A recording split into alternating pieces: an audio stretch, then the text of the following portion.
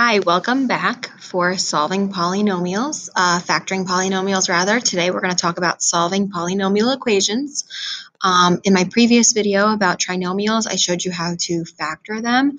And in this video here, we're going to talk about how to solve a polynomial equation that was a trinomial, which it could be in its polynomial form, factored form. We're going to take a look at all of that. So I have six problems here for us today to take a close look at. Now, First step in solving a polynomial equation, step one, is to set the equations equal to zero. When I look at these two equations, problem one, problem two, both are clearly set equal to zero. I see equal zero, I see equal zero. So that's step one, it's actually already done. Step two is to factor. Now, we don't see a trinomial here. We clearly see that a trinomial is already put into factored form. Noting the parentheses gives you that big indicator. Same thing with problem two. This is clearly in factored form. So step one, set the equation equal to zero. That's already done for us.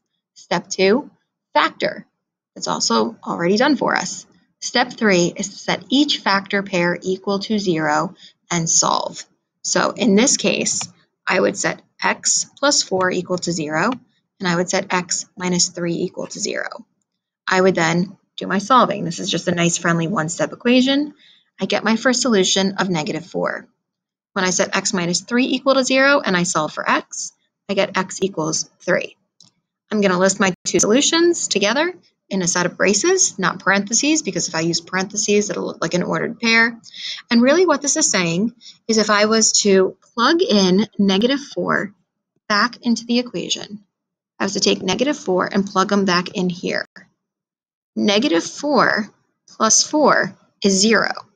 0 times negative 7, which I would get if I plug that negative 4 in here, 0 times negative 7 is 0. I'd get that same response if I plugged in a 3. The moment I put in a 3, 3 times, I'm sorry, 3 minus 3 is 0.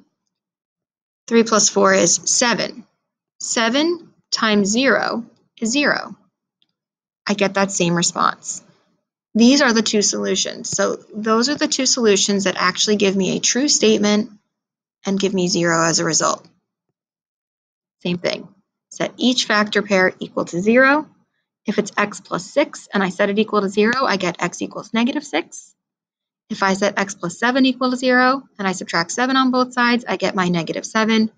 And those would be the two values of x that if I was to substitute them back into the original equation would give me 0 as a result. Problems three and four.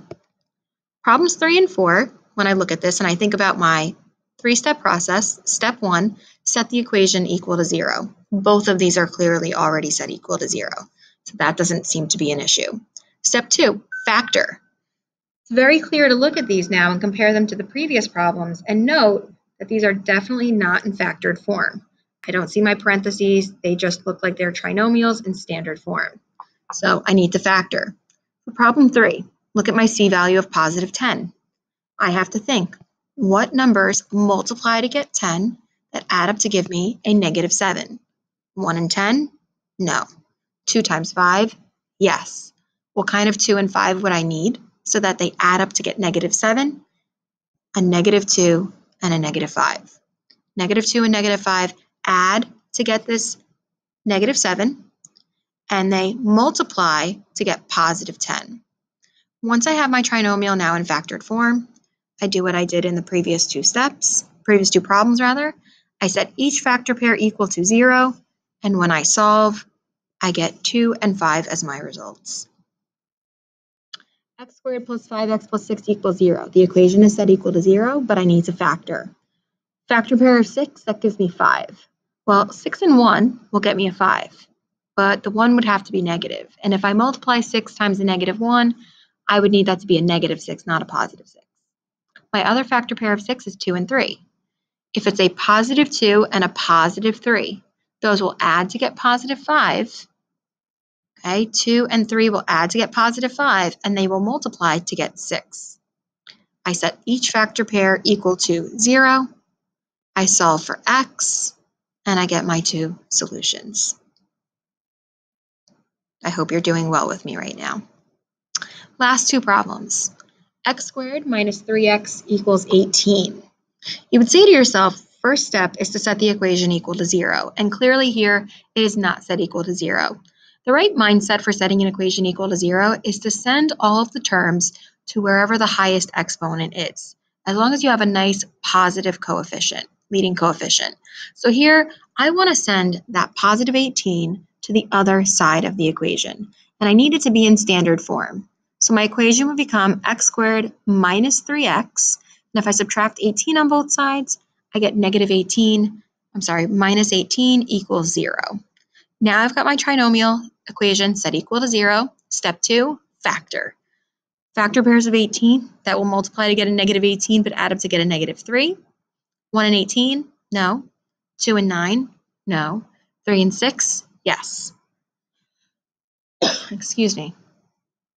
I would need a positive 3 and a negative 6. A positive 3 and a negative 6. These two numbers will add up to get negative 3, and they will multiply to get negative 18.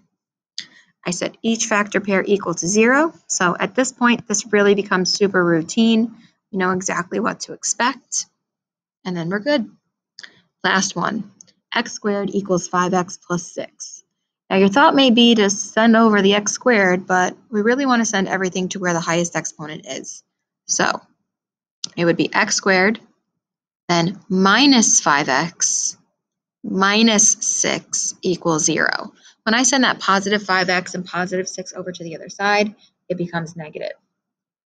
Now I go to factor. I need two numbers to multiply to get negative 6, but add up to get negative 5. Let's try 1 and 6. If I use 1 and 6 and I make one of them negative, the 6 negative, a positive 1 and a negative 6 will in fact add up to get negative 5 and they'll multiply to get negative 6. If I was to use negative 2 and negative 3, a negative 2 and negative 3 would add up to get negative 5, but they would multiply to get a positive 6. So that actually won't work. We set each one equal to 0. This is now our sixth time doing this process. We solve and we get our solutions. And as always, I could always go back, substitute these numbers in for x, see that I get a true statement, and know that I did everything correctly. I hope this video was helpful for you. Hopefully you were able to follow along, and hopefully you turn in for, tune in for more videos. Thanks.